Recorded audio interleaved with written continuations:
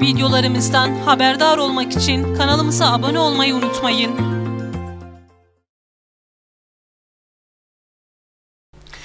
...8 Mart 2019 Cuma mutlu akşamlar sevgili izleyiciler. Yeni bir program, yeni bir seçim 2019 ve bu akşam konumuz Saadet Partisi'nden.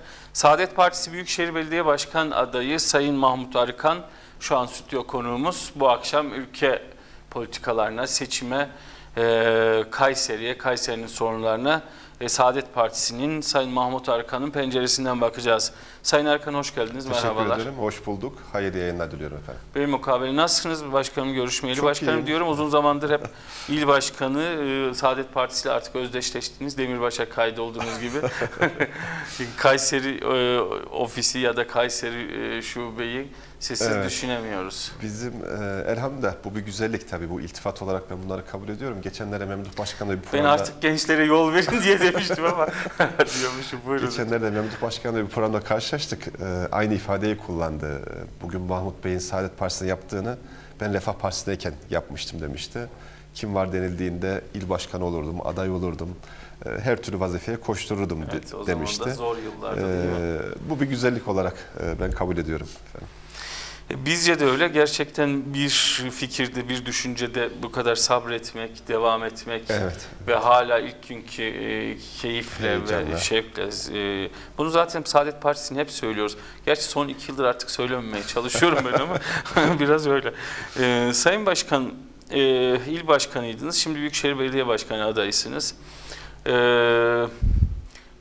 Büyükşehir yani il başkanlığı aslında iyiydi. Büyükşehir Belediye Başkanlığı'na genel merkez mi sizi siz mi istediniz? Onlar mı koydular? Öyle bir giriş yapalım. Zaten sizi kamuoyu tanıdığı için işte sizi tanıtalım demeye gerek Evet, görmüyorum evet, ben. Teşekkür ediyorum. Öncelikle bugün bir 8 Mart. Ee, Her ne kadar bu tip günlerde kutlama mesajları vermeyi çok tasvip etmesem de adete uymuş olalım. Ee, Yani kadınlar- Saadet Partisi de Kadınlar Günü'nü kutluyorsa artık diyecek şimdi tebrik başı. edelim e, diyorum. Evet, Bugün hanım seçmenlerin Yahya- gönlünü almak lazım. Yahyalımızda gün içinde programdaydık.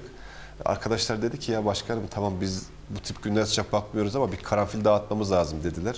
Karanfilleri aldık e, hanımefendilere. İttifak takdim size ettik. yaramamış başkan. İttifak size yaramamış. Orada. Ka- Karanfil de dağıttınız. Çok güzel. Karanfilimize dağıttık. Böyle bir süreç yaşadık. Biz de bütün hanımlarımızın, hanımlar günü de dediği gibi Sayın Başkanım bu adet olmuş tabii. Evet. Aa, Analarımız, bacılarımız, kadınlarımız bizim her zaman baş tacımız ama madem adet olmuş, adet olacak galiba bu gidişle de. e, Biz de Evet, tebrik ediyoruz. Hayırlara vesile olsun inşallah. İnşallah, inşallah. Kadınlarımızın e, neyine çare olur bilmiyorum ama inşallah iyi şeylere vesile oluyordur. İşte Öyle eş- eşler bir karanfil götürürse ona vesile olur. Onun dışında çok fazla bir anlam ifade ettiğini düşünmüyorum böyle günlerin.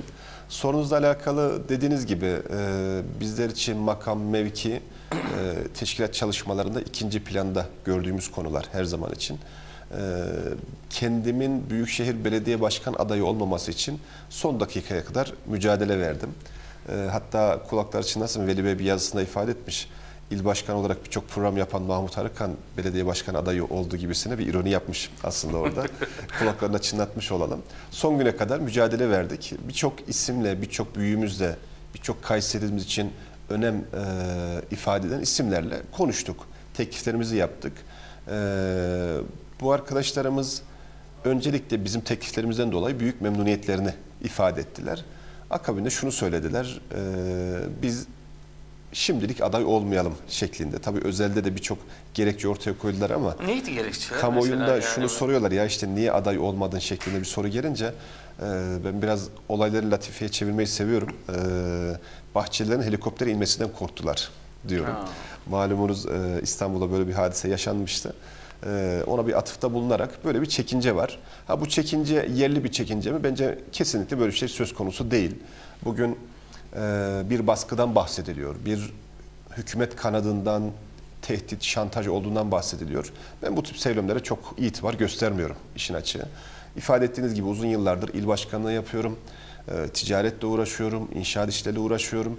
E, tabir yerindeyse inşaatla uğraşan insanların e, ipin ucu belediyelerdedir o anlamda. Ee, Eğer böyle bir şey olsaydı bir Mahmut Arıkan olarak ben göğsümü gere gere ticaret yapamazdım Kayseri'de. Önüme birçok engel çıkartılırdı. Ben bunun böyle olmadığını düşünüyorum. Tam tersi. Demek ki iktidar partisi denildiği kadar çok e, şey yapmıyormuş yani. Öyle mi? Ta- yani doğruya doğru demek lazım. Ben bu Yani. baskıyı hiçbir zaman görmedim. Sayın Şu- Memduh şuradan Büyükkılıç'a da bakıyorum. Pardon, adaylık teklifiniz mi oldu ya da öyle bir beklentinizi mi dile getirdiniz? Beklentimizi dile getirdik. içerisinde o da var Beklentimizi- mıydı? Yok, kendisiyle bir görüşmemiz olmadı. Ee, Hiçbir dönem olmadı. Ama e, Memduh Büyükkılıç isminin e, bizim için önemini inkar edemeyiz. E, bizim il başkanlığımızı yapmış, e, milletvekilliğimizi yapmış. Derken o bir zaman daha dönem- henüz Baba Ocağı'nda Refah Partisi. Evet, Refah Partisi'ne ve Fazilet Partisi'ne belediye başkanlığı yapmış bir büyüğümüz. Ee, geçen gün kendisine de ifade ettim. İl başkanı iken ben gençlik kollarındaydım. Hiç unutmuyorum. Aynı bugünkü binamızdaydık o dönemde. Bana bir tane ip vermişti. Naylon bayraklar vardı. Onlardan vermişti. Bir tane de tel zımba. Mahmut al bunları as demişti. Ee, geç saatlere kadar o zımbalarla e, iplere bayrakları asmıştık. Sabaha kadar da direklere e, asmıştık. Kendi resimlerini trafolara, e, polisten, zabıtadan kaçarak çalışmalar yapmıştık. O günlerden bahsettiğimde hay Allah razı olsun dedi. Yani benim sende çok emeğim var, senin de bende çok emeğim var e, deme nezaketini de gösterdi sağ olsun. Biz şunu ifade ettik e, bununla alakalı kanaatlerimizde. E, milli görüş çatısı altındaki bir partide siyaset yapan Memduh Büyükkılıç ile Adalet ve Kalkınma Partisi çatısı altında siyaset yapan bir Memduh Büyükkılıç'ın farklı olacağını e, ifade ettik. E, fırsat bulduğumuz platformlarda gelirse başımızın üstünde yeri olduğunu ifade ettik. E, ama o kendisi mevcut çatı altında siyaset yapmaya devam etti. Bize hayırlı uğurlu olsun demek düşer bu saatten sonra. E, biz hep siyaseti nezaket çerçevesinde yapmaya gayret gösteriyoruz. Gittiğimiz her yerde e, fikirlerimizi dillendirmeye imkan bulduğumuz bütün, bütün platformlarda dediğimiz şey şu. Bugüne kadar Kayserimize hizmet etmiş ne kadar belediye başkanı varsa onlara teşekkür ederiz. E, Allah razı olsun deyip kendi icraatlarımızdan, e, projelerimizden, belediyeciliğe bakış açımızda kendimizi anlatmaya gayret gösteriyoruz. Bel altı siyaset dediğimiz bir usup bizim için hiçbir zaman geçerli bir argüman olmadı. Ha bunu söylerken e, yanlış gördüğümüz bir hususu da görmezden geleceğiz anlamına çıkmaması gerekiyor. E, yanlış olan şeyleri sonuna kadar dillendiriyoruz. Ben şunu çok açık yürekli ifade ediyorum. Bugün Adalet ve Kalkınma Partisi'nin belediyecilik serüveni ve bugünkü belediye başkan adayları bizim düşündüğümüz pencereden belediye başkanlıklarını yapmış olsalar idi biz emin olun bugün Saadet Partisi olarak Kayseri aday çıkartmazdık. Onların yanında destek olurduk. Ama yapılan uygulamalar, e, belediyeciliğe bakış açısı bizim için tasvip ettiğimiz bir metot değil. E, bu metodu da düzeltmek için aday olduk, gayret gösteriyoruz.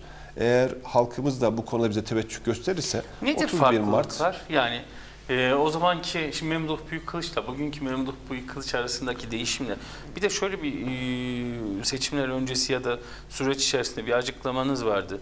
Diyordunuz açıklamanızda şöyle ifade kullanmıştınız. Zulüm devam ettikçe Mustafa olmuş, Memduh olmuş çok fark etmiyor, Fark etmez. değişmiyor Evet, demiştiniz.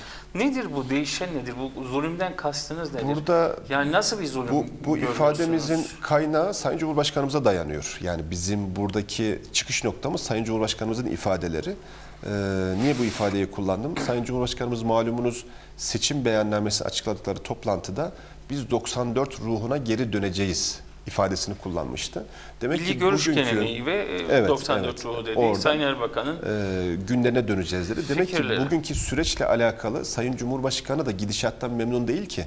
94 yıllarındaki Refah Partili belediyelerdeki bakış açısını özlemle e, yad etmiş oldu. Biz buna atıfta bulunduk.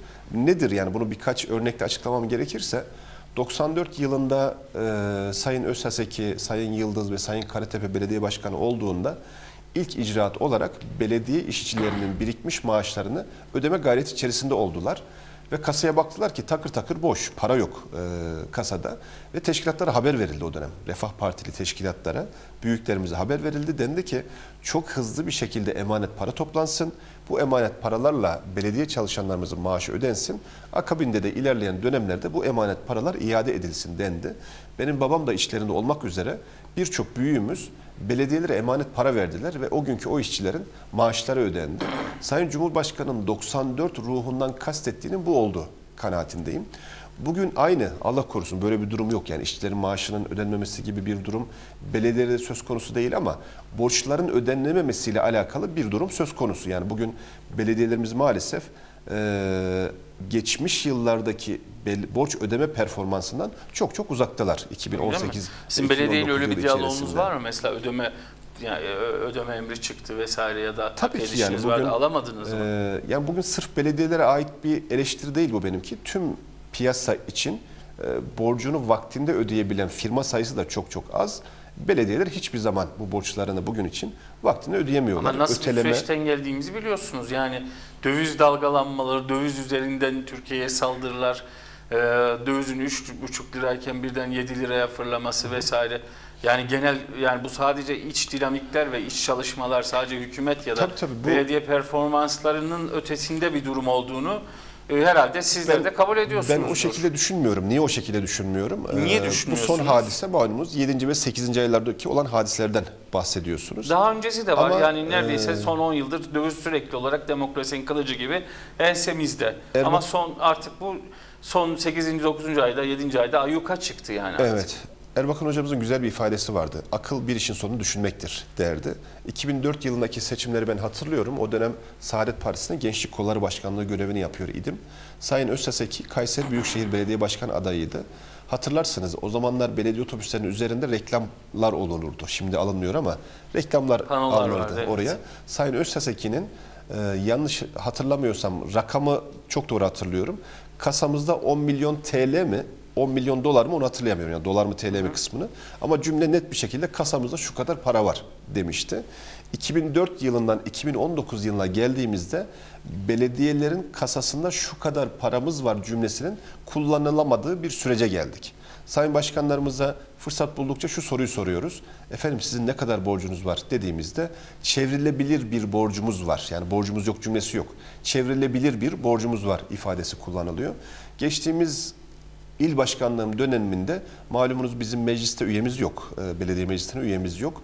E, Arkadaşlar dedik ki ya nasıl belediyelerin borcu ne, harcı ne, yatırıma ne kadar para ayırıyorlar alakalı dilekçeyle bir soru sorduk. Bize gelen cevap e, böyle bir soruya cevap verme mecburiyetinde değiliz şeklinde. internet üzerinde bunlar bulunabilir şeklinde cevap geldi. E, ve aday olduktan sonra da şöyle bir baktım, bilgisayarın başına geçtim. Belediyelerin sitelerine girdiğimde borçlarla alakalı kısımların e, artık ulaşılamadığına e, gördüm. Bu da bizim Yeterince şeffaf değil artık. diyorsun. Maalesef yani şeffaf bir belediyecilik olmadığını ben düşünüyorum. Ee, böyle bir şey olmuş olsaydı zaten emin olun bugün Mahmut Arıkan belediye başkanı adayı olmazdı. Yani çok Yani bunu en farklı iyi Saadet kulvarda. Partisi'nin anlayacağını düşünüyorum ya da Saadet Partisi kökenli, Milli Görüş kökenli. Çünkü Sayın Erbakan, merhum Erbakan hocanın da içerisine düştüğü, düşürüldüğü, itildiği o krizler, o dış kaynaklı, iç kaynaklı vesaire o sıkıntılı süreçler bugünkü hükümette çok yaşadı, yaşıyor, hala yaşatılıyor. E, Bunları çok net görüyorsunuz, gördüğünüzü düşünüyorum ama empati yapmıyorsunuz. Şimdi Erbakan Hoca'nın dönemini ve bu dönemi kıyaslamak gerekirse e, biz Türk toplumu Yani o olarak zaman vesayetçiler içerideydi. Daha çok yoğunluk içeriden baskıydı. Çok daha Şimdi e, yoğundu. vesayetçilerin Şunu- içeridekileri bir, bir şekilde Şunu- şunu ifade sustu edeceğim. ya da etkisiz hale geldi. Dışarıdan yoğun şekilde baskı geliyor. 1996 yılı e, Mesut Yılmaz ve Tansu Çiller hanımefendinin koalisyon ortaklığı var. Ana yol iktidarı. E, asgari ücret pazarlığı yapılıyor. Mesut Yılmaz başbakan o dönem. Bayram Meral yanlış hatırlamıyorsam Bayram Türk İş'in evet, genel sekreteri ve Mesut Yılmaz'a geliyor diyor ki asgari ücrete biz 130 zam talebimiz var diyor. Mesut Yılmaz %5 olur, 10 olur, 15 olur falan diyor. Daha soruyla, gen soruyla ana yol hükümetinin yıkılma ihtimali doğuyor. Mustafa Kamal Akbey'in verdiği gen soruyla yolsuzluktan dolayı ana yol iktidarının yıkılma durumu oluşunca Mesut Yılmaz pat diye 130 verdim gitti diyor. Tabi bu 130'u verme samimiyeti göstermiyordu. Bir sonraki gelecek var, olan iktidarı zor durumda bırakabilmek için böyle bir hamle yaptı. Akabinde de Refah Yol iktidarı kuruldu. Merhum Erbakan hocamız başbakan, Tansu Çiller hanımefendi başbakan yardımcısı oldu. Bayram Meral yine geldi. Dedi ki Sayın Erbakan biz %30 zammı Mesut Yılmaz'dan sözünü aldık. Sakın ha bizden pazarlığa oturma dedi. Erbakan Hoca'nın meşhur bir bakışı vardı hatırlarsınız. Gözlüğünün üzerinden bakardı böyle. Gözlüğün üzerinden Bayram Meral döndü ve dedi ki Bayram Bey dedi siz temsil ettiğiniz işçilerin haklarını yeterince savunamıyorsunuz dedi. Bayram Bey dedi ki ya da nasıl savunacağım %30 istiyorum ben dedi. Savunabilmiş olsaydınız dedi asgari ücretin %30 zamla o insanların refah seviyesine anlardınız. bilmeniz gerekirdi dedi. E, peki ne yapacağım hocam ben dedi. Size %50 zam veriyorum dedi. Salonda bir anda bayram havası esti. En başta yanında oturan Tansu Çiller hanımefendi bir paniğe kapıldı. Ya nasıl olur gibisine. Ertesi Ekonomist günkü gazete manşetlerini ben hatırlatmak istiyorum. Erbakan Hoca kafayı yedi. Erbakan Hoca ülkeyi bataklığa sürüklüyor. Hazinede zaten para yok bu kadar zammı nereden vereceksiniz dendi. Bütün bu söylemlere asgari ücretliye, emekliye, işçiye, memura bu kadar fazla zam verilmesine rağmen Türkiye Cumhuriyeti tarihinde ilk ve son kez denk bütçe o vesayetin en kralının yapıldığı dönemde Erbakan Hoca tarafından hayata geçirildi. Bugün bir vesayet yok dersek Sayın İktidar yetkililerine haksızlık yapmış oluruz. Mutlaka bir dünya problemle mücadele verilebiliyor. Ama mücadele verilen argümanlar, yapılan metotların %99'unun biz yanlış olduğu kanaatindeyiz. Bununla alakalı yine başımdan geçen bir örneği sizin vasıtanızda aktarmış olalım. Sene 2004 e, veya 2005 tam yıl hatırlamayabilirim. E, Mahmut Cevat il başkanıydı e, AK Parti'de. Taner Yıldız da vekildi. Güzel bir uygulama vardı o dönem. Yani muhalefet partileriyle iktidar partileri bir araya gelirdi. İl başkanları, yetkili kurmaylar bir araya gelir, sohbet edilirdi. Yemek yenir, Kayseri tartışılır, ülke tartışılırdı. Yanlış hatırlamıyorsam Bağımsız Türkiye Partisi'nin il başkanı Taner Yıldız Bey'e bir soru sordu. Dedi ki, Sayın Vekilim dedi, Büyük Orta Doğu Projesi diye bir proje var.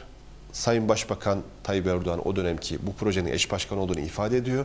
Ama Condoleezza Rice, ABD'nin Dışişleri Bakanı diyor ki, Büyük Orta Doğu Projesi 22 tane İslam ülkesinin sınırlarını değiştirme projesidir diyor.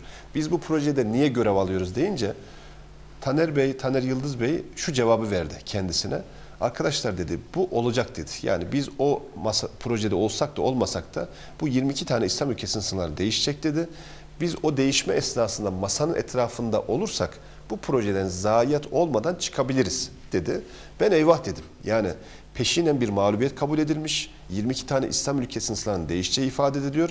Ve değiştirenlerle beraber biz aynı masanın etrafında yer alıyoruz diye içimden çok hayıflandım. Aradan 2015 desek 14 sene geçti. Bugün itibariyle 22 tane ülkenin 20'sinde sınırlar değişti malumunuz. Bütün her yerde kan ve gözyaşı var. İki tane ülke kaldı. Bir tanesi İran, bir tanesi de Türkiye. Allah'a şükürler olsun. Demek ki bu projede o masanın etrafında bulunarak bir takım işler yapma gayretimiz yok. Bugün çok net bir şekilde ülkenin bölünmesini konuşabilen insanlar türedi. Biz bunu çok e, üzüntüyle takip ediyoruz. Bugün Türkiye'nin bölünmesini ağzına almak, e, orada bir Kürdistan devletinden bahsedebilmek çok büyük bir acziyet olduğunu ben düşünüyorum. E, ve Amerika'nın niyeti net bir şekilde belli oldu ki bu 22 tane ülkeden 22'sinin sınavı değiştikten sonra iki tane ülke Türkiye ve İran'a nasıl oyun kurabilirim? Bu gayret içerisinde. Ama biz ABD ile e, biz bu ülke bizim müttefikimiz dersek, dostluklarımızı çok daha ileriye götüreceğiz dersek, e, yani bir timsahla oyun oynamanın bir gereği yok. Amerika bir timsah ve bizi yutmak istiyor, Suriye'yi yutmak istiyor, Mısır'ı yutmak istiyor. Orta Doğu'nun tamamını, yani Orta Doğu kelimesine ben çok katıldığım bir şey değil. Orta neresi, Doğu neresi, bizi bile o anlamda Orta Doğu diye konumlandırmışlar. Böyle bir rol biçmişler bize. Ee, Büyük İsrail Devleti'nin kurulması için bunlar adım adım adım planlarını maalesef hayata geçiriyorlar. Peki benim bu gördüğümü bir tırnak içinde Peki ben söylüyorum. şöyle sorayım Sayın Erkan. Şimdi sene 2019 bu söylemlerinizi çok uzun yıllardır dinliyoruz. Doğru olan tespitler de var.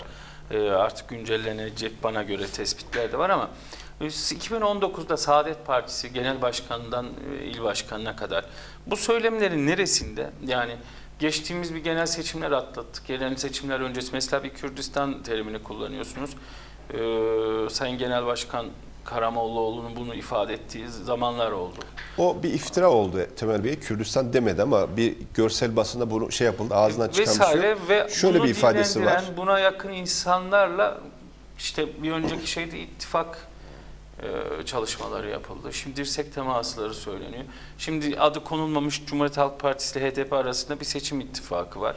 Bu insanlara yakın bakıyorsunuz, sempatiyle bakıyorsunuz. Tamam bu defa ittifak, Millet İttifakı'nın içine yer almadınız çünkü tabandan çok ciddi bir tepki geldiğini düşünüyorum ya da kamuoyundan bu anlamda e, sıkıntılı anlar yaşandığını da düşünüyorum. Yani en azından ben çevremde gördüğüm Evet. kadarıyla ilimizde böyle bir süreçte yaşadınız.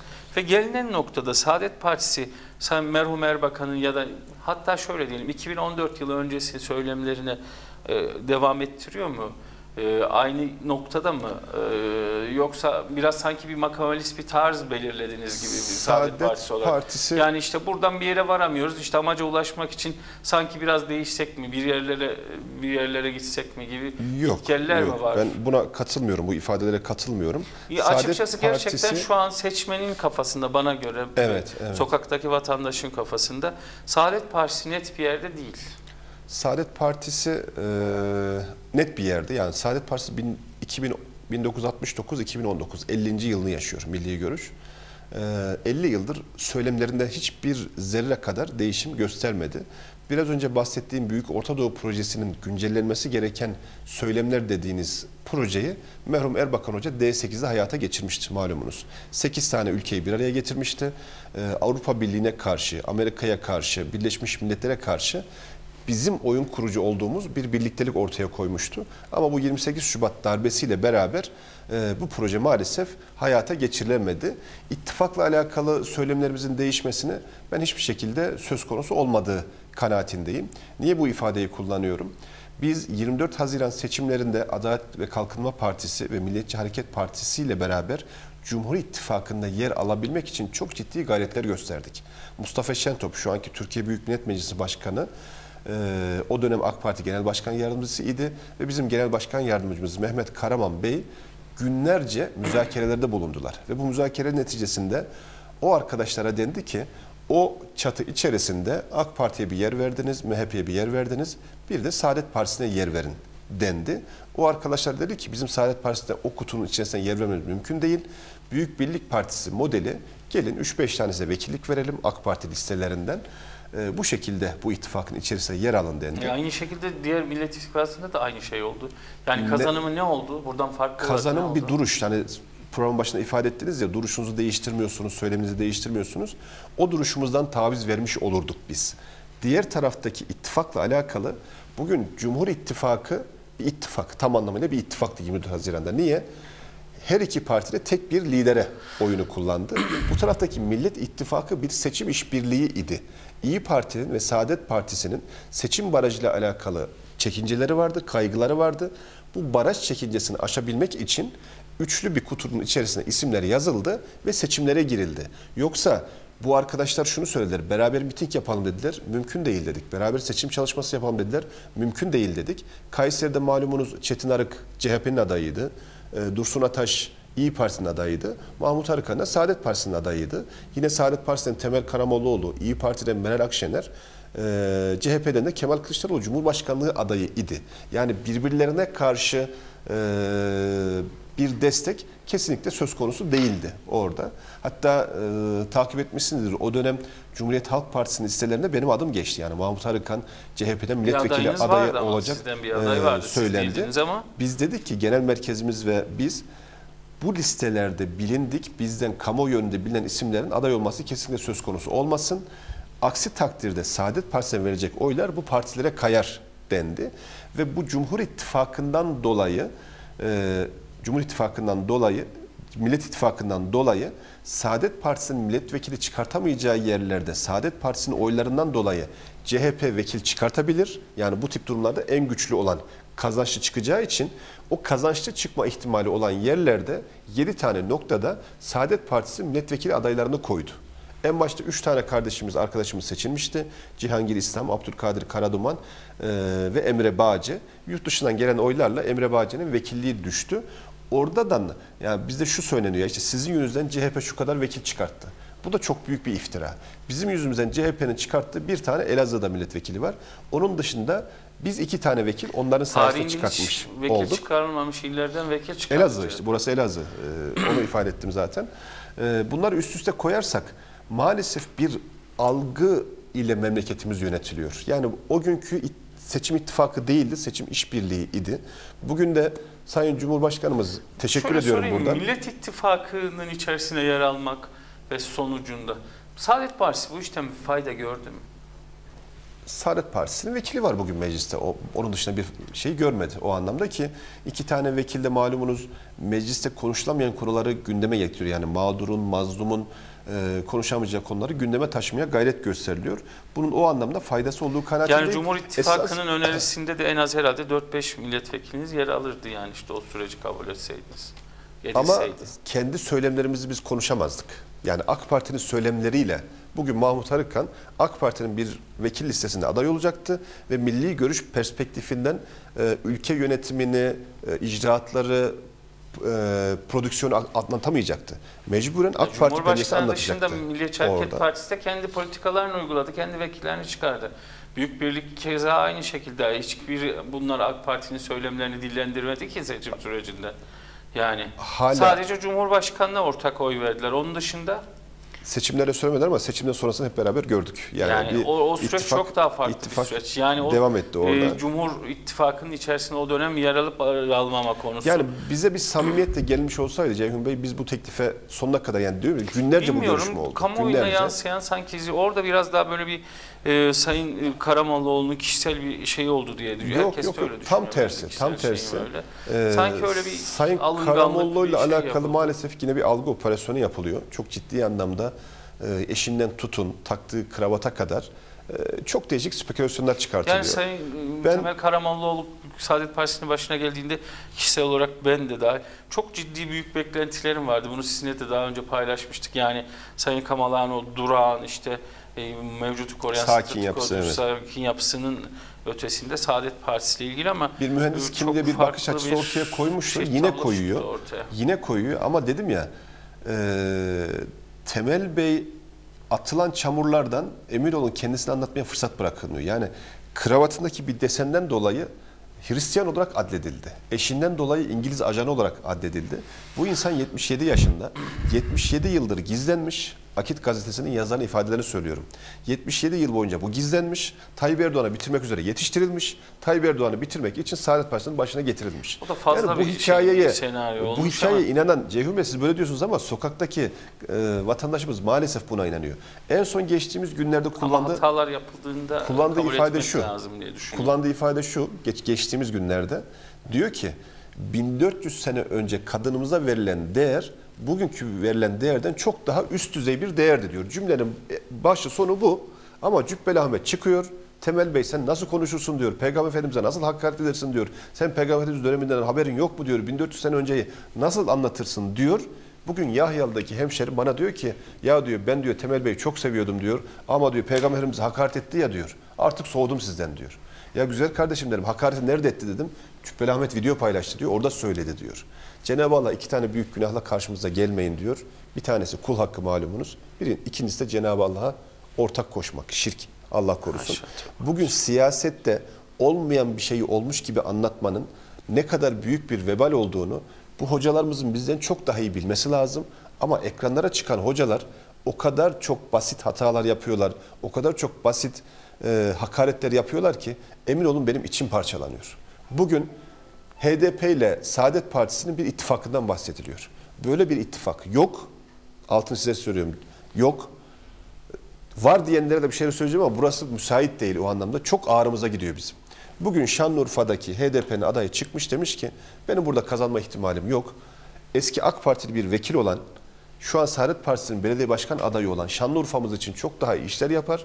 Ben onu desteklemek lehine seçimlerden çekiliyorum demiş. Vay sen misin bunu diyen CHP, İyi Parti, HDP, Saadet, Şer İttifakı.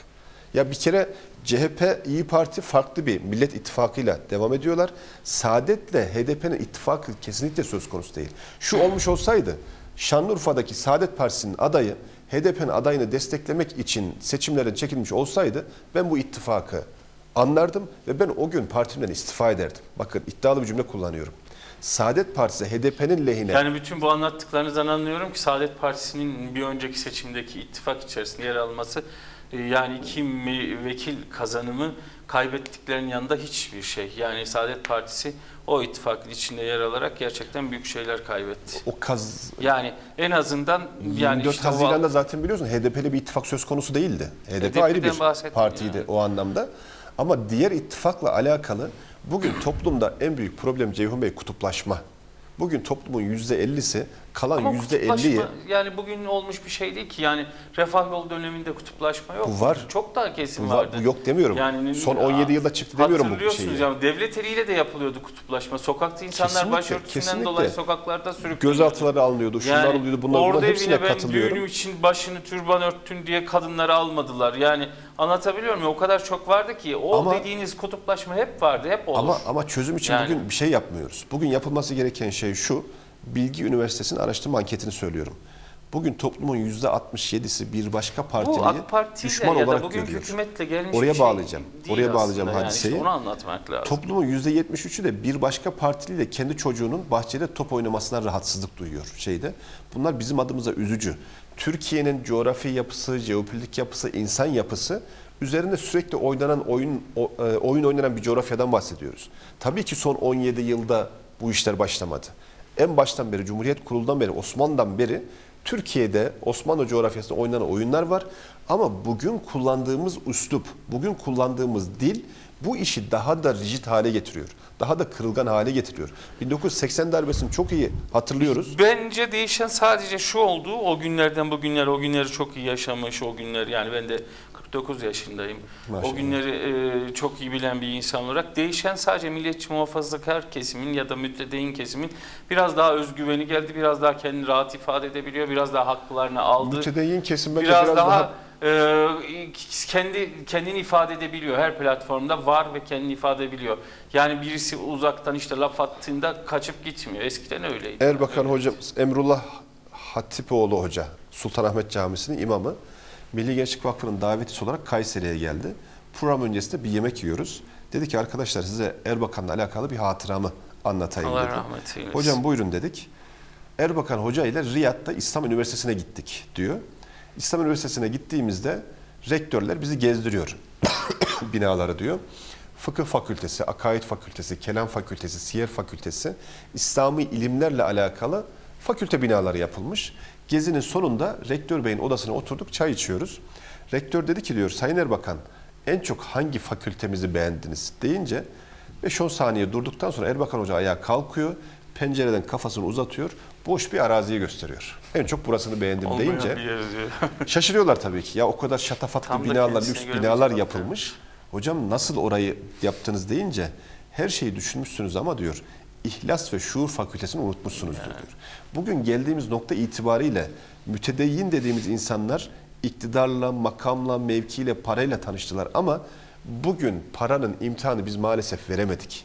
Bugün geçmiş yıllarda e, namaz kılmak, beş vakit Ben namaz kılmak gerçek bir kriterdi. milliyetçi muhafazakar, gerçek mütedeyyin kesimden bahsediyorum. Yani bir takım menfaatler her dönemde Çok olur. düşük yüzdelere düştü o. Çok bir takım menfaatler düştü. için bir yerlere toplanan ve o menfaatleri bittiğinde biterse hemen dağılıp başka yerlere gideceklerden değil. Gerçek manada e, bu kesim gerçekten özgüven geldi. Yani e, dediğim gibi kendini ifade edebiliyor, ifade Evet. etmeye çalışıyor, susmuyor. Ya o pasif yapısını birazcık aştı Bugün diye o düşünüyorum. mütedeyyin kesimden şunu duyma imkanımız maalesef yok. 20 sene önce bizim bir derdimiz vardı. Faizsiz bir et- ekonomi modeli kurma derdimiz vardı. Bugün böyle bir derdimiz kalmadı. Faizleri düşürme derdimiz var.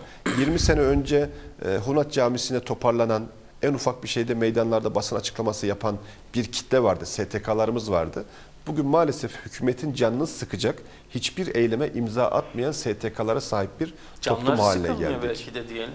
O daha acı. Yani. O zaman dediğinizle çelişiyor, çelişiyorsunuz. Ee, Sayın demek ki o Erkan, ekip kalmadı. Büyükşehir Belediye Başkanı adayı olarak biraz Evet. da şey, yani genel Yerele politika inelim, evet. bunlar çok derin meseleler konuştukça Sabahlara kadar sürer. sürer, kesin sürer. Büyükşehir Belediye Başkanı adayı. Ama bir ara bir yapalım inşallah. Ucu açık bir program. Projeler neler neler ya size göre bugün Kayseri'nin en büyük problemi nedir? Neleri yenilemek, nelerde revize etmek, neler projelerinizde ne getireceksiniz, ne yapmak istiyorsunuz? Ben Yani Memduh Evet. Başkan'ın e, vaktiyle e, ne diyelim çırağı mı diyelim öyle tabir yanlış gençlerindenim olur. diyelim. Bir Milli Gençlik gençlerinden biri olarak bugün Refah onunla aynı Partisi'nden. e, Evet. rakip durumundasınız ve usta çırak ya da işte genç e, yaşlıyla e, Yaşlı fark ne demeyelim, olacak? yetişkin diyelim. Yaşlandım. İfade oldu. ettiğiniz gibi Kabul bugün ediyorum. Kayserimiz e, Türkiye'de belediyecilik anlamında önemli işlerin yapıldığı bir belediyeden bahsediyoruz. Yoldur, kaldırımdır, asfalttır, yapılaşmadır. Bunlar birçok belediyeye göre bir adım önde olduğumuz bir belediyeden bahsediyoruz. Bugün bizim Allah nasip ederse seçildiğimiz takdirde yapacağımız en önemli icraatlardan bir tanesi sosyal belediyecilik anlamda, ahlaki ve manevi anlamda Kayserimize yatırımlar yapmak. Bunu niye ifade Nedir? ediyorum? Yani Saadet Partisi'nin ya da şahsınızın Ne- sosyal ner- belediyecilikten ner- nereden gel nedir? buraya nereden Çok geldiğimizi kullanılıyor çünkü herkes İki- sosyal belediyecilik diyor ama iki, iki cümleyle ifade edeyim. Kayserimiz boşanma oranlarında ilk 3'te, kadına şiddette ilk 5'te, son bir ay içerisinde 200'den fazla kişi uyuşturucudan dolayı adliyede soruşturma geçiriyor Kayserimizde. 50'den fazla kişi de hırsızlıktan dolayı bir soruşturma geçiriyor. Uyuşturucu yaşı biraz önce e, gün içerisinde Yahyalı'da Ali Özkan isimli kardeşim Yahyalı'daki uyuşturucuyla alakalı cebime böyle bir not koymuş. Araçta cebimden çıkarttım. Kırışmış vaziyette. Uzun bir metin ama özet olarak şunu söylüyor. Başkanım Allah rızası için diyor Yahyalı'da uyuşturucu kullanma yaşı ortaokullara indi. Bunlarla alakalı proje geliştirin şeklinde Yahyalı. cebime not yazmış bırakmış. Yahyalı'dan bahsediyoruz. Mütedeyyin anlamında Kayseri'nin en önemli e, programdan sonra da ben bunu size takdim edeyim. Hadise şu. Okul aile birliği diye bir birliklerimiz var biliyorsun. Okullarda velilerden bir tane başkan seçeriz.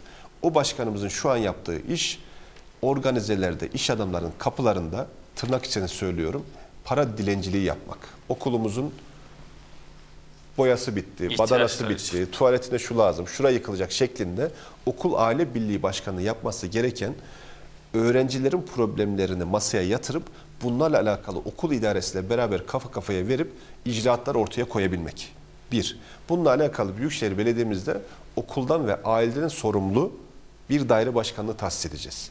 Bugün belediyelerimiz eksik olmasın, bütün camilerimizin ihtiyaçlarını karşılıyorlar. Ama ne hikmetse okula geldiğinde sıra bununla alakalı ihtiyaç karşılamaktan biraz imtina ediyorlar. Belki şunu diyorlardır. Ben Milli eğitimin. Yani okul müdürlerinin ifadesi hareket ediyorum. kadar belediyeler eğitime destek veriyor. diye Olmuştur, olmamıştır demiyorum. Ama bugün hala okul aile birlikleri başkanları iş adamlarının kapılarında geziyorlarsa demek ki eksik bir şeyler var. Ve özünde Okul idarecilerin işi, yanlış yönlendirmesi diyelim o halde. Yani herhalde öyle. yani para aldıktan sonra okul idarecisi, belediye şu bu bir yanlış yönlendirme var onunla alakalı. Bununla alakalı bir daire başkanlığı tahsis edeceğiz. Bunun e, önüne çıkmaya gayret göstereceğiz. İhtiyaç fonu oluşturacağız. Burada e, STK'larımızla aramıza mesafe koyacağız. Bugün STK demek muhalefet demektir. STK demek mevcut idarecilerin yanlışlarını o idarecilerin yüzüne yüzüne yüzüne okuyabilmek demektir. Bugün STK'larımız maalesef belediye bütçesinden direkt faydalanabildikleri için bir faaliyet yapacakları zaman belediye başkanının kapısını çalıyorlar, araç tahsis ediyorlar, salon tahsis ediyorlar, maddi imkan tahsis ediyorlar, faaliyetlerini yapabiliyorlar. Böyle olunca o STK ne yapıyor? özel sohbetlerde konuşuyor, konuşuyor, konuşuyor. Ya hadi bunu Kay TV'de Ceyhun Bey'in programında söyle dediğimizde yok ama orada konuşamam. Niye konuşamazsın? Hangi STK'lar Belediyedeki? Yani- belediyedeki muslim hepsi. Yani istisnasız konuşuyorum. Belediye imkanlarından faydalanan STK'ların hepsi. Net bir şekilde bunu kullanabilirim. Hadise bu. Esas Yani İmam Hatip bugün Mezunlar Derneği diye bir derneğimiz var. Yani e, onu özellikle söylüyorum. Söylediğiniz kapsama giriyor mu İmam Hatip Mezunlar ben de o Derneği? derneğin bir üyesi olarak tam ortasında duruyor. Şey anlamda tam ortasında duruyor. Muhalefet yapılmıyor Her an düşebilir maalesef. diyorsunuz. Nasıl? Her an düşebilir diyorsunuz yani. Tam ortasında duruyor demek. Evet. Salınıyor demektir yani. Tam yani merkezinde duruyor diyelim. Onunla alakalı. Bizim gayretimiz bu noktada olacak. Yani bugün e, imarla alakalı problem yok mu? Şehirleşmeyle alakalı problem yok mu? Mesela Mustafa Çelik Başkan'a ben geçtiğimiz günlerde bir ziyaret yaptım. Evet. Bu üç buçuk yıllık Ve yaptığı hep şeyde onca görev süresince ziyaret etmediniz. Tam adam görevden ayrılırken ziyaret ettiniz. Ya bir Yani biraz nezaket sanki icabı. merk- genel merkezle arasında bir soğukluk oluşmuş gibi bir hava estiriliyorken ziyaret ettiniz yani. Onda manidar buldum ben yok, yani. Yok o bakış açısını ben kendisine ifade ettiğim için burada rahat konuşuyorum.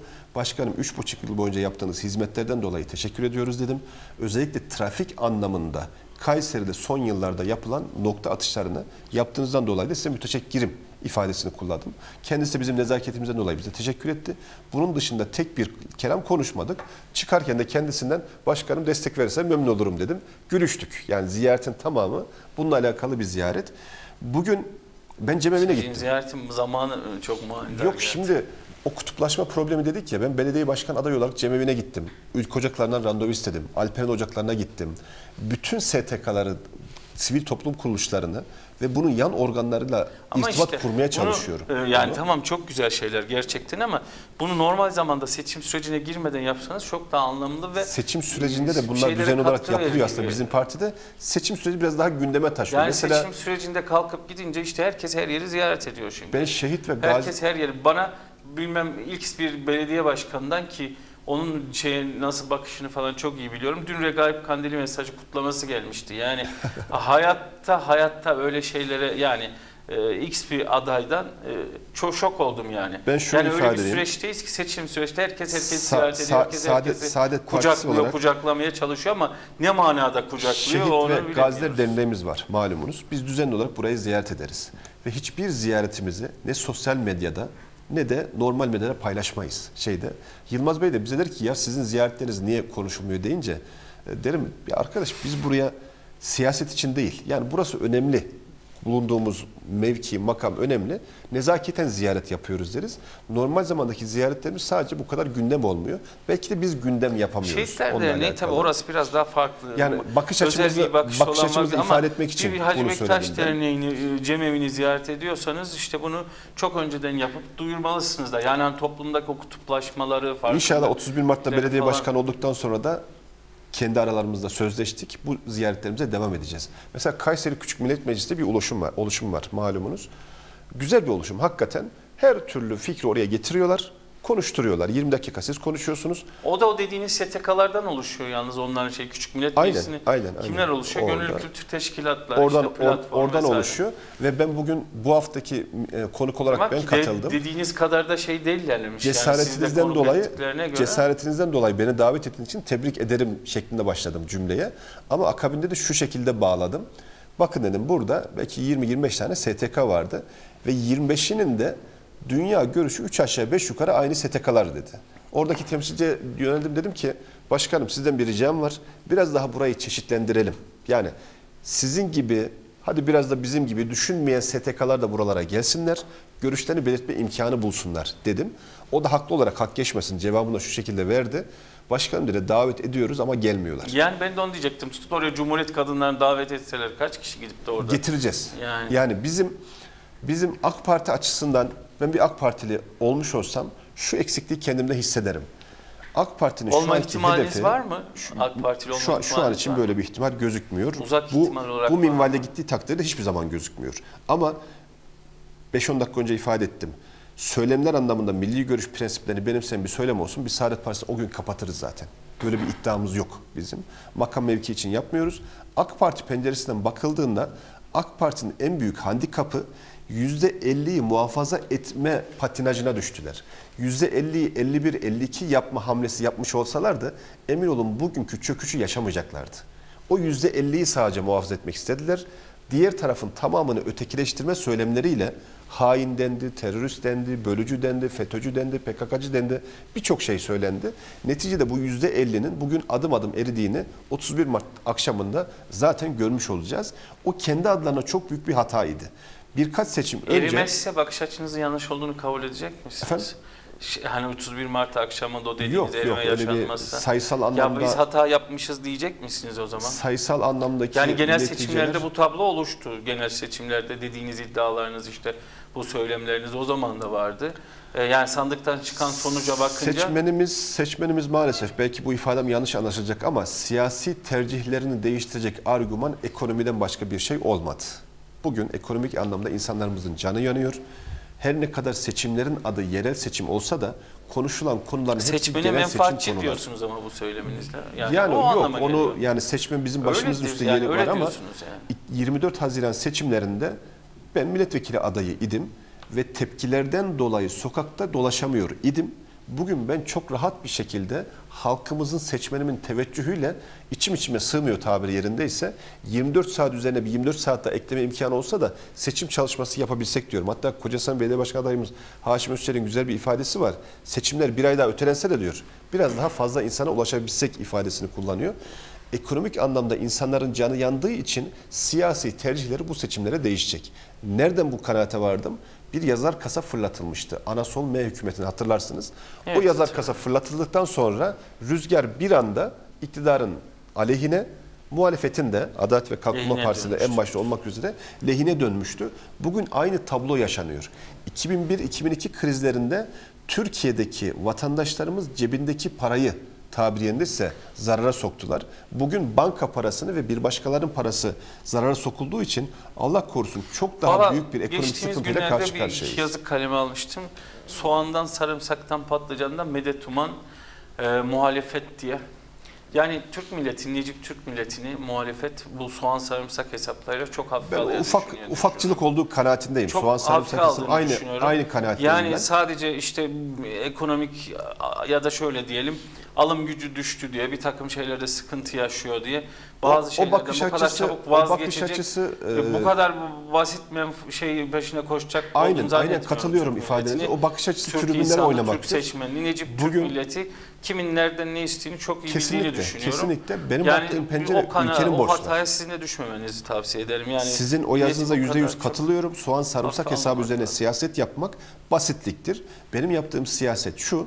Bu arkadaşlar iktidara geldiğinde 200 milyar dolar borcumuz vardı. Bugün 750 milyar dolar borcumuz var ve bugün borcu ödemekte çok büyük sıkıntılar çekiyoruz. İstanbul Büyükşehir Belediye Başkanı Binali Yıldırım'ın TÜSİAD'da yaptığı bir konuşmadan esinlenerek şu ifadeleri kullanıyorum. Borçları alırken çok iyiydik diyor Binali Bey. Zannettik ki bu ödeme günü hiç gelmeyecek. Bugün de ödemelerin günü geldi. Bu sıkıntılar bundan diyor. Binali Yıldırım'ın ifadesini söylüyorum. Maalesef işin sonunu düşünemeden borçlandık. İşin sonunu düşünemeden yatırımlar yaptık. Yollar, köprüler, havaalanları başımıza beraber yapılması gereken yatırımlardı. Ama hesabını kitabını ödeme takvimini düşünmeden yapılan yatırımlar maalesef bu ülkeyi bugün bu noktaya getirdi. Bir inşaat mühendisi, bir teknik bir insan olarak ben bugün Kayseri'nin 20 noktasında temel açabilirim. İnşaata başlayabilirim. Ama 6 ay sonra benim esamem piyasada okunmaz, batar giderim. Ama ben bugün bir temel, iki temelle kendi gücüm nispetince öz sermayemle ne yapabilirim? O kadar yatırım yapabiliyorum. Maalesef hükümet biraz önce verdiğim 20 tane temel açma hatası yaptı ve bu hat, bu yatırımların da altında kaldık biz. Avrupa'ya gidiyoruz. Amerika'ya Amerika'ya gitmedim ama Avrupa'ya birkaç sefer gitme imkanı buldum. Şehirleşme havaalanları bizimki kadar lüks değil. Yolları bizimki kadar lüks değil. Futbol stadyumları bizimki kadar lüks değil. Ama bizden çok daha rahat ekonomik şartlar içerisinde yaşıyorlar. Hollanda'da, Amsterdam'da ben 1800-1850 tarihli binaların halen oturabildiğini gördüm. Bugün Kayserimizde en eski bina 40 yıldır bilemediniz 50 yıldır ve onları da şu anda kentsel dönüşüm altında yıkıyoruz. Yeni binalar imar ediyoruz, inşa ediyoruz. Kayseri'ye özgü Kayseri Mahallesi adı altında 9-10 bin metrekarelik bir Ama alana işte 100 sığdırdık yıllık, 50 orasını. şeylerde bahsederken de onu da hep getirip şimdiki yönetime e, faturayı kesmek de doğru bir şey değil işte. Vaktiyle Şöyle ifade edeyim. Amsterdam'daki gibi ya da Almanya'daki gibi o kadim işi uzun süreli, uzun soluklu, uzun kullanımlı binalar vaktiyle yapılsaydı bugün biz de kullanırdık. İstanbul'da bu, bu yapılar duruyor malum İstanbul'da Yani. yaşanıyor. Burada maalesef merhum Erbakan hocamız e, 1997 yılında Kayseri ziyaretinde dönemin belediye başkanı Mehmet Özhaseki'ye Fazilet Partisi'nin balkonundan bahsediyorum. Hunat Camisi'nin yanında Posta İş Evet. Merkezi'nde balkona çıkılıyor. Erbakan hocamız yanında da e, Mehmet Özhaseki Bey Erbakan Hoca doğup 7 yaşına kadar yaşadığı evi gösteriyor. Diyor ki Mehmet diyor senden ricam diyor şu evi diyor bir muhafaza altına al diyor. Yani bu evden bu oda kadar bu stüdyo kadar bir yerden bahsediyoruz. Burasını diyor kamulaştır diyor böyle kalsın diyor. İki yıl sonra o ev yıkılıyor. Yani hocanın talebine Ahde rağmen. vefasızlık olmuş. Ha şunu yola gider, parka gider onu anlarım. Bugün o ev hala Küçükapı'da yeri ta- temel betonu duruyor. 15-16 yıl önce yıkıldı, geçti gitti. Biz e, ha eminim ki kasıtlı yıktı demiyorum. Yani böyle bir şey yoktur ama o gün bir planlama vardı akıllarında muhtemelen. O planlamaya istinaden o ev yıkıldı ama o planlama hayata geçirilemedi ve orası bir virane olarak kalmış o vaziyette. Geçmişimize sahip çıkmakta ciddi sıkıntılar var. Geçmişimize sahip çıkamadığımız takdirde bir sonraki neslimize de bırakacağımız mirasta problem olacaktır. Bugün sahabiyedeki kentsel dönüşümü hep beraber görüyoruz. Küçükhal'deki kentsel dönüşümü hep beraber görüyoruz. Seyrani Mahallesi'ndeki kentsel dönüşümü hep beraber görüyoruz. Bunların hepsi ciddi sıkıntılı projeler. Niye sıkıntılı? Billboardlara baktığımızda ben şu ilanı görüyorum. Şu belediyeden sattık daireler. Ya belediye niye daire satar? Hadi vele ki satar ki diyorum. Bir kağıdı kalem alıp bir araştırmaya bakıyorum. Başlıyorum. Acaba o alanda belediyenin kaç metrekare arsası vardı ki o arsasına istinaden daire sahibi oldu diye bakıyorum. belediyenin bir metrekare arsasının olmadığını görüyorum. Bir metrekare arsası olmadan kentsel dönüşüm alanı ilan edilen bir bölgede yüzlerce daireyi biz satma hatasına düşüyoruz. Bu daireler kimin hakkı? O toprakların sahibinin hakkı. Ama o toprak sahibiyle sahibinin anlaşma hakkına yapılıyor baştan. Rızası alınarak Kentsel yapılıyor. dönüşümde malumunuz %65'e Ee, ikna ettiğiniz takdirde %35'in rızasına bakılmıyor. Cepten oralarına kentsel E, dönüşüm %65 şeyleri çok yapılabiliyor. az bir Orada rakam değil yani çoğunluk karar vermiş oluyor. yüzde bir de olsa kul hakkı kul hakkıdır yani yüzde 35'in e, çok da bir anlam ifade etmediğini düşünüyorum. Yüzde bir ile yüzde 99 arasında hakkıyla bir yeri e, yapamıyorsak e, bu zaten yeterli bir kul hakkı olduğu kanaatindeyim ki bir sahabe dönemindeydi herhalde bir vatan e, kişinin arsası zorla e, el el konulup bir cami yaptırılıyor. Evet, cami Ve o dönem için. karşı çıkartı, çıkılıyor ki rızası olmadan buraya cami yapılamaz şeklinde. Ee, örneğimiz belli. Ee, rehber alacağımız yer de belli. Maalesef bugün belediyecilikte birinci hata ahlaki ve manevi kalkınmaya yönelik projelerdeki zayıflığımız. İkincisi de adil bir belediyecilik yapamamak. Bugün belediyelerimizi 15-16 tane bir aile var. Bunlar sürekli bu belediyelerde hep ön saftalarda yer alıyorlar.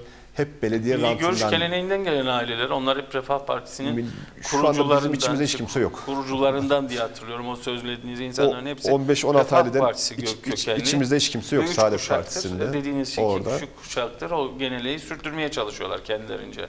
Yani zaman içerisinde sanırım Er, değişmişler. Erbakan Hoca'nın vasiyetidir. Milli Görüş'ün tek adresi Saadet Partisi'dir. Kim Saadet Partisi dışında ben de Milli ha bu arada Görüş'üm yeni bir diyorsa Refah Partisi daha konuldu. Yeni Refah Partisi. yeniden refah Yeniden ismi. Refah. Ee, bu Saadet Partisi'nin sonu olur mu? O, Erbakan, merhum Erbakan Hoca'nın oğlu başında e, mirasını geri alacağım diyor babamın diyor. Yo, al- mirasını çok hor Aldı zaten mal varlığı olarak şu anda genel merkezimiz dahil, genel başkanımızın makam aracı dahil Anadolu'daki birçok il binamız Fatih Erbakan Bey'in şahsına geçti. Üzüldük tabii ki. Ben birebir Şahsına kendisiyle geçti? tabii şahsına geçti. Ben birebir kendisiyle görüştüğümde e, bu mallar kimin Fatih Bey diye sorduğumda Mahmut Bey bu nasıl bir soru? Bu ümmetin malı. Ben de bu ümmetin malının emanetçisiyim cümlesini birebir bu kulaklarımla duydum. Bugün o malların kendisine ait olduğunu, e, Saadet Partisi'nin bu mallardan istifade edemeyeceğini söyledi. Kendisine Buradan şunu mu anlıyoruz? Merhum gerçekten iyi bir devlet adamıydı ama iyi bir evlat yetiştirememiş, iyi bir baba değil mi? Yani bu sonuç mu çıkıyor? Yani bugün e, Kabil de malumunuz Hazreti Adem'in evladıydı. Hazreti Nuh evladını gemiye bindirememişti. E, bu çok soy isimlerden gelen siyasetçilerin de Türkiye'de iş yapmadığını defalarca gördük. Özallar, Menderesler, Türkeşler e, bunun birçok örneği var. Tehlike olarak görmüyorsunuz yani. Yok ben bir karşı arada olduğu başkanım görmüyorum. stüdyodan uy- uyarı geliyor herhalde yavaş yavaş toparlayalım isterseniz. Sizin programlar hep eğlenceli geçiyor ve bitiyor yani böyle. E, hakikaten zevk aldığım programlar içerisinde. Eksik olmayın. Yalnız radyo programını bana önermediniz. Veli Bey önerdiniz. Veli abi duymaz inşallah. Bir de siz de yapalım inşallah. Beraber yapalım. O latifesi. Son cümle olarak bizim her Şunları ifade etmek istiyorum. Abimiz, Evet, önderimiz. bizim büyüğümüz hakikaten. Ee, son cümle olarak şunları ifade etmek istiyorum. Bu bir yerel seçim, bir genel seçim değil. Dört tane oy kullanacağız. Kayseri Büyükşehir Belediye Başkanı seçeceğiz. Bulunduğumuz ilçenin belediye başkanını, bulunduğumuz ilçenin belediye meclis üyelerini ve muhtarlarımızı seçeceğiz. Bu seçimlerdeki vereceğimiz hiçbir oy Cumhurbaşkanı seçmeyecek, milletvekili seçmeyecek, Türkiye Büyük Millet Meclisi'ne başkan seçmeyecek. Kayseri için dertlenen, Kayseri için vizyonunu e, bu bu şehri yönetmeye layık kimi görüyorsa seçmenlerimizin o noktada oy vermesi gerektiğini e, tavsiye ediyorum. Aksi takdirde Sayın Cumhurbaşkanımız 2023 yılına kadar ülkemizi yönetecek. Türkiye Büyük Millet Meclisi'ndeki 600 tane milletvekili arkadaşımız 2023 yılına kadar bu ülkeyi yönetecek. E, bir beka seçimidir doğru ama Kayseri'nin bekasının seçimidir. Türkiye'nin bekasıyla e, bu seçim hiçbir alakasının olmadığını düşünüyorum. Peki Kayseri'nin umuyor Saadet Partisi bu seçimden ya da beklentiniz de hani işte sokaktaki teveccühten falan oy oranı ne olur? Yani Biraz önce ifade ettim. 24, genel Haz- total manada 24 oy oranı Haziran'da sokağa olur? çıkmaya cesaretimiz yokken bugün sokaktan girmeye zaman bulamıyoruz. Çok affedici millet işte ben Orada. O yüzden eee, o bizim yüce gönüllülüğümüzden kaynaklanıyor. elhamdülillah yani Allah bu özelliğimizi elimizden almasın. Amin, bu amin. bizim için çok büyük bir özellik. Biz Kayseri'de eee, sürpriz yapacağımız kanaatindeyiz. Biz hiçbir seçimi formalite olarak Ülke girmeyiz. genel olarak da baksak. Ülke geneli olarak da biz mı? %7 ile 8 bandında bir oy alacağımız kanaatindeyim ben. Ee, Sayın Arıkan gerçekten keyifli bir sohbetti. Teşekkür ediyorum. Son bir mesajınızla noktaya koyalım inşallah efendim. Evet ben eee, sizin bize fırsat verip mesajlarımızı Kayseri kamuoyuna ulaştırmak için imkan verdiğiniz için Kay TV ailesine teşekkür etmek istiyorum. Bu En seçimde çok Veli Bey'e, Veli Bey'in arzusuyla oldu bu. sağ, sağ olsun Veli Bey'e de buradan saygılarımızı iletelim. Ee, ama köşe yazılarına bize hiç yer vermiyor. Onu takip ediyorum. Sanki Cumhur İttifakı ile Millet İttifakı'ndan başka aday yokmuş gibi düzenli olarak takip ediyorum yazılarını. Buna da üzülüyoruz biraz buradan. Bu latife- Davet güzelle zengin ediyor biliyorsunuz. bu latifeyi de yapmış olalım kendilerine. Ee, bütün izleyicilerimize e, hayırlı günler diliyorum. E, hayırlı ömürler diliyorum efendim. Teşekkür ediyoruz. Biz de e, hemen kapatmadan bu şeyde beklediğiniz sonuç olmazsa yine il başkanı olarak yola devam mı? Oradaki projeksiyonunuz nedir? Yani e, velev ki işte 31 Mart'ta belediye başkanı olamadınız. 1 Nisan sabahı Kayseri Büyükşehir Belediye Başkanı olacağız inşallah biz. Çok teşekkür ediyorum. Ben teşekkür ederim. Sevgili izleyiciler bu akşam da e, Saadet Partisi Büyükşehir Belediye Başkanı adayı Sayın Mahmut Arkan'la sizlere seslendik. Dilimiz döndüğünce, e, süremize el verdiğince e, Saadet Partisi'nin politikalarına Sayın Arkan'ın görüşleriyle seçimi, ülke gündemini değerlendirmeye gayret ettik. Umuyoruz faydalı olmuşuzdur. Umuyoruz kafanızdaki soru işaretlerini giderme anlamda bir nebze katkımız olmuştur. Bunun huzuruyla huzurlarınızdan ayrılıyoruz. Yeni bir programda yeniden bir, birlikte oluncaya dek tüm güzellikler sizlerin olsun. Allah'a emanet olun, esen kalın efendim.